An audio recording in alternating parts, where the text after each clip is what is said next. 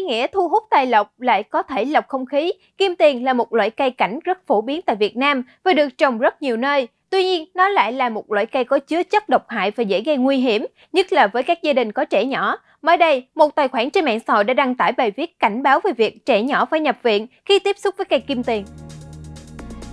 Tài khoản này cho biết, em nhỏ 6 tuổi của gia đình đã bứt lá loại cây này cho vào miệng trong lúc chơi đùa. Đến khi bé kêu đau họng, khẹt nhổ và la khóc, người lớn trong nhà đi tìm nguyên nhân mới thấy có lá kim tiền với vết cắn.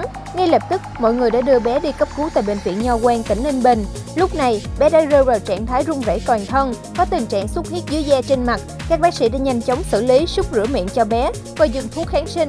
Nếu trẻ nhỏ trong nhà cắn nuốt phải cây lá kim tiền, điều đầu tiên cần làm là nhanh chóng cho trẻ súc miệng để giảm bớt tinh thể còn tồn dư trong miệng. Khi nhựa tiếp xúc với da, mắt cũng phải rửa sạch bằng nước. Sau khi đã sơ cứu, nhanh chóng đưa trẻ đi cấp cứu.